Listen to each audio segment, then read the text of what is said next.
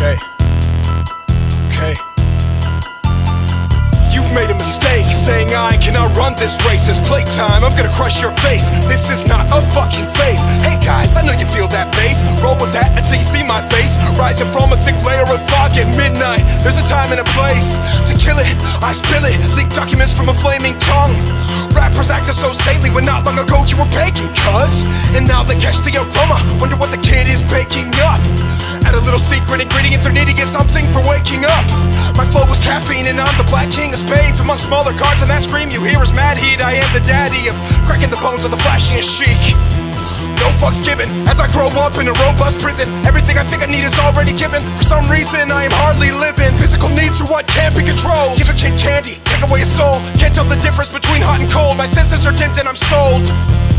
As the credits start to roll, I wake up and I miss the movie. The people around me are swarming like they just saw something that's dooming. Now they're telling me that I miss a lot and I gotta go back and see it. Yet everyone who was watching came out that bitch with a crooked demeanor. These subtleties and half truths are running my country at large. Shipping this garbage by every ocean. I'm about to sink the barge. Health war, famine, and money. Get rid of those and we have no country. What happened to thinking people love me? These relationships feel so ugly. It's like we're speaking on the surface, but something sounds scripted about all the verbiage. Like everything we think came from another person, and we didn't take time to think if it's worth it.